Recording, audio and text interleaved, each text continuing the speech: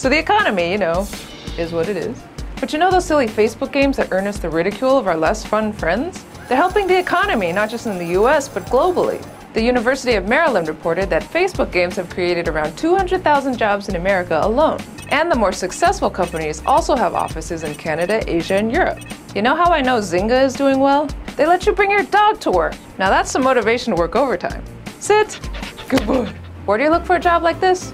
Online. What jobs are available? Most commonly, software engineers, game developers, and artists. What skills do you need? Computer people? Study up on your programming languages and team up with your friends to create your own app games. Artists work on your 2D or 3D art portfolios.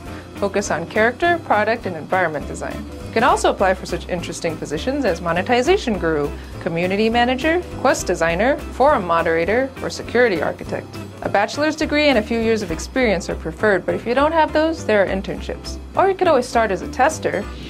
That job can get tedious though.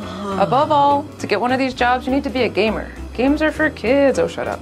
Games are fun. Good luck and visit me in Sim Social.